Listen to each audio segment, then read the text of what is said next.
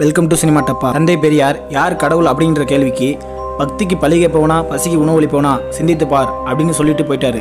ஆனால் சிந்திக்கிறோமா அப்படின்னு வாங்க பார்க்கலாம். சினிமாவில் பல அழிக்க முடியாத தியரிஸ் இருக்குது அதில் ரொம்ப முக்கியமானது காட்ஸ் தியரி இன் சினிமா இது உண்மையிலே முக்கியமான ஜேனர் தான். ஏன்னா இந்தியன் சினிமா பேச ஆரம்பிக்கிறதுக்கு முன்னாடியே கடவுள் பற்றின படங்களும் அதுவும் ஆயிரத்தி தொள்ளாயிரத்தி பதிமூணுலேயே ராஜா ஹரிச்சந்திரா அப்படின்ற படம் வந்ததும் அண்ட் தமிழில் ஃபஸ்ட்டு பேசும் படமான காளிதாஸ் அதுவும் ஒரு புராதனமான சாமி படம் தான் நம்ம பார்க்குற சினிமா படங்களில் வர்ற தியரிஸ் என்னென்னா வில்லன் சக்திக்காக தப்பு பண்ணுறதும் கடைசியாக ஹீரோ ஹீரோயின்ஸ்ட்டை வர்றதும் தென் ஹீரோயினோட ஹஸ்பண்டை ஏமாத்துறதும் ஹீரோயின் நான் கூப்பிட்ற வரைக்கும் என் மூஞ்சிலே முழிக்காத அப்படின்னு சாமிக்கே ஆர்டர் போடுறதுன்னு கிளைமேக்ஸில் வேண்டிக்கிட்டே ஒரு சாங் அப்புறம் கடைசியாக சாமி என்ட்ரி எனக்கு என்னமோ நிஜத்தில் இங்கே யாரும் ஹீரோ ஹீரோயின்ஸ் இல்லை போல. போன வாரம் ஒரு பையன் ஆழ்துறை கிணத்துல விழுந்ததுக்கு என் ஃப்ரெண்டு மெசேஜ் பண்ணி மச்சான் இந்தாடா பிளாக் டிபி இதை ப்ரொஃபைலை வைடா அப்படின்னு சொன்னான். எனக்கு சாக்காக இருந்துச்சு.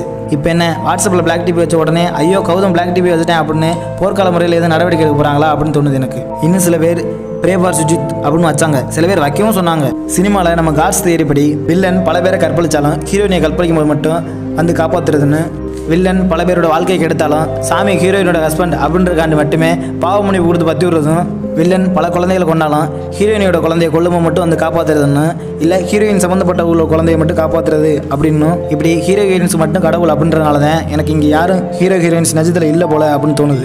ப்ளே ஃபார் சுஜித்னு வச்சுருக்கீங்களே நீங்கள் சாமி படங்களில் லாஸ்ட் ஸ்கிரீனில் வர மாதிரி ஒரு பாட்டு பாடி சூடம் ஏற்றி இல்லை சர்ச்சுக்கு போய் டொங்கி டொங்கின்னு மணி அடிச்சிருந்தாலோ இந்த கடவுள் வந்து காப்பாற்றிருக்கும் சாமி இப்போ சுஜித்தை காப்பாற்றாமல் விட்டுருச்சு.